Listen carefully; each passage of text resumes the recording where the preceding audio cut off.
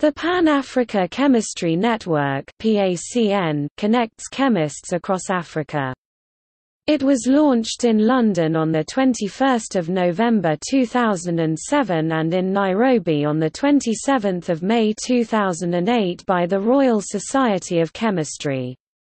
The PACN works to connect chemists across Africa and has five centers of excellence in analytical chemistry in Kenya, Ethiopia, Ghana, and Nigeria. The aim of the PACN is to enable a self sustaining science base in Africa and to enhance the number of skilled scientists in Africa through networking, skills development, and knowledge creation to support an increase in scientific output and its application to challenges challenges.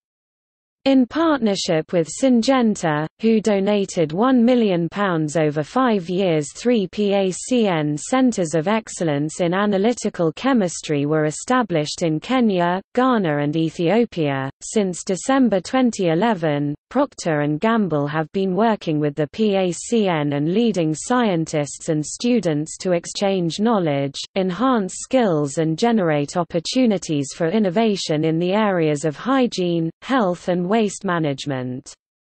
A collaboration lab at the University of Lagos in Nigeria was established which includes provision of analytical equipment and internships for Nigerian scientists to apply their knowledge to real-life industry challenge. The PACN organizes a number of events including an annual congress, GCMS training and scientific symposia.